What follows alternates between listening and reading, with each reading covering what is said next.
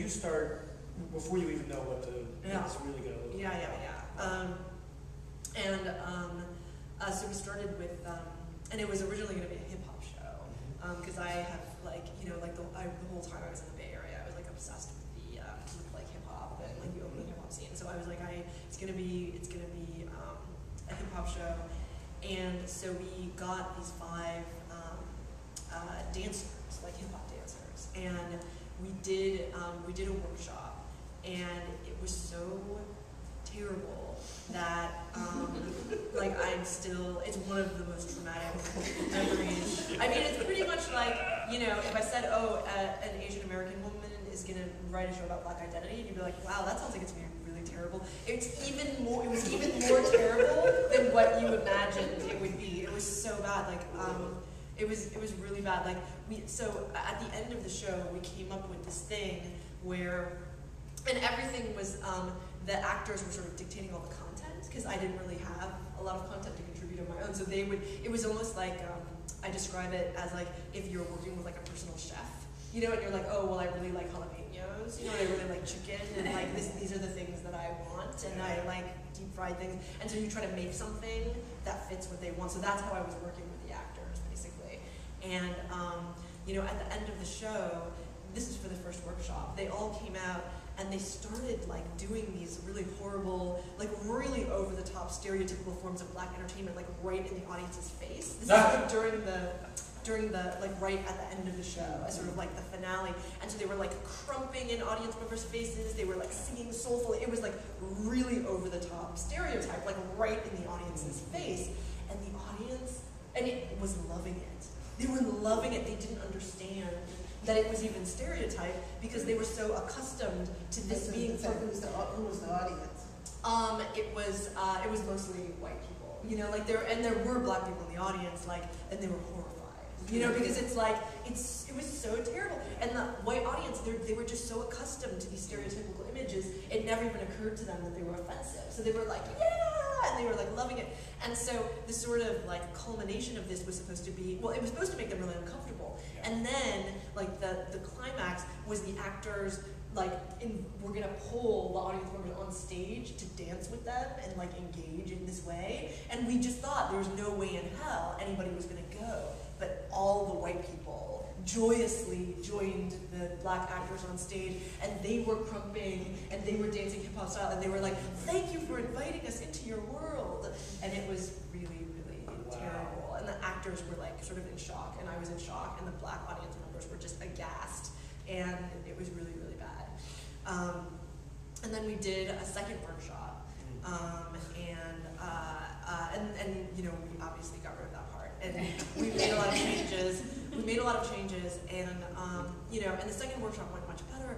But then black audience members came to me and they said, "Well, since these performers are dancers and you're making them act, it makes them look like it makes it look like black people can't act because none of them were trained actors, you know, and they were like, the, and, they, and the black audience members were like, that is problematic. You know, the fact that they dance really well, but they don't, you know, they're like when they speak, you know, and so, so I ended up um, recasting the show, except for one performer who was an actor, and you know, the other, the dancers, like we replaced them with actors, and then we started again from scratch, like we threw out everything and just started from scratch, and there was no longer any hip hop component, and um, uh, and that's how this version came into being. Yeah. Yeah. Can you, can you talk, I, I feel like your, your shows often have really wonderful structures. Can you, can you talk a little bit about how you, how you think about structure? Um, you know, it, it, it tends to, um, I mean, it, it tends to evolve kind of slowly, like I never have the structure first. I mean, for this show, it was kind of like, you know, the actors and I sat around like this, and we would just talk, you know, and I'd be like, well, you know, what kind of show would you want to be in? Like, what sorts of issues would you want to express in the show? It was like the chef thing, you know, I'm like trying to get, you know, get feedback from my clients on what sort of show I, they would like me to create for them. And, you know, and so like ideas would be flying back and forth, and I would like go home and just write something based on our conversation that day and bring it in the next day, and then sort of get their feedback. I mean, I never realized the extent to which it really is like I was like a playwright and director servicing my clients, you know, because I would bring it in and get their feedback, and they would say like, oh, you know, I want more oregano, or whatever, you know, like so it was very much like a process of me constantly bringing things in, and I was actually not so keen on the idea of dealing with stereotypes, but because the performers were all actors, like that, you know, that was like their daily reality. Like they go into an audition and they're like always auditioning for the crack hoe, the gangbanger. It's like those are the only roles available to them. Even on like that, you know, even if they're auditioning for like one of the best television shows like in the world, The Wire, it's still crack or drug dealer. You know, like it's the same roles wherever you go. Um, and uh, and so they really wanted to address stereotypes. And so I ended up, you know, um, we ended up sort of working with a bunch of stereotypes.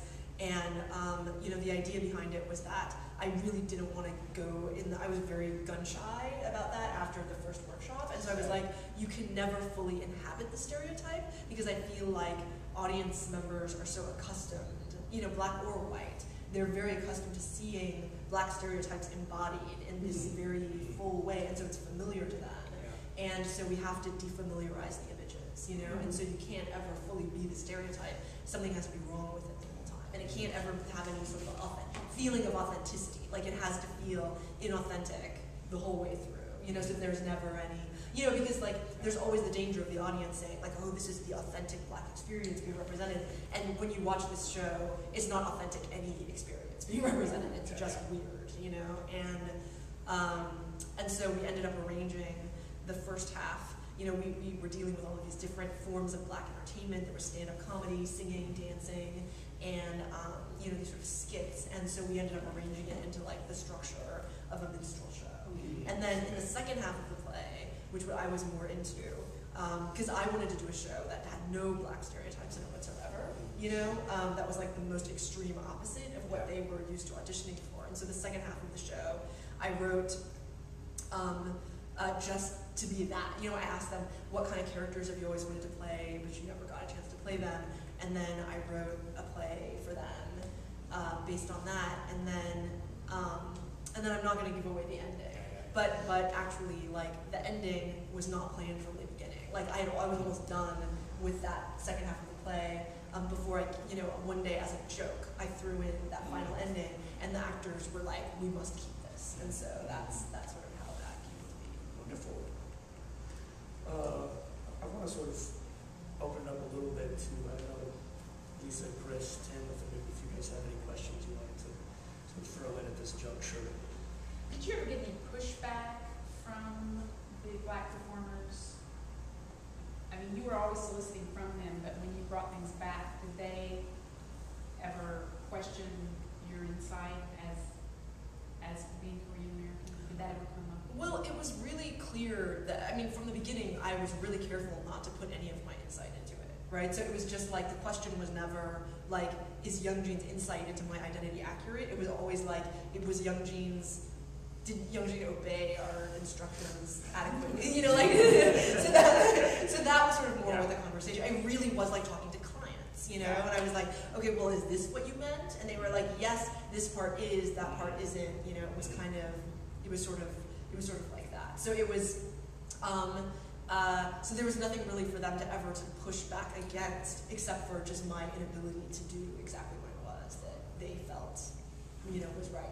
There was one moment though of conflict where um, we it took us forever to find out. Um, it wasn't really conflict because I didn't fight back, but they did like come down um, we uh, uh, we were struggling forever to find the right song for them to sing in the show. Um, and because we knew we wanted them to sing, but we didn't know what was the right song. And one day, one of them said, you know, um, as a joke, "What about the Black National Anthem?" And I was like, "What's the Black National Anthem?" And they were like, "Oh, you've never heard it?" And so they all sang it for me, and I fell in love with it. I was like, "Oh my god, like amazing!" And I was like, "Well, you know," and I was like, "Yes, why don't you sing the Black National Anthem?"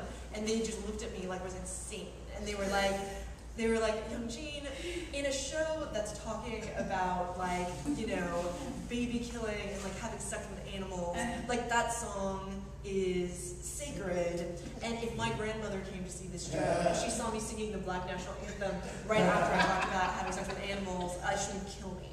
And so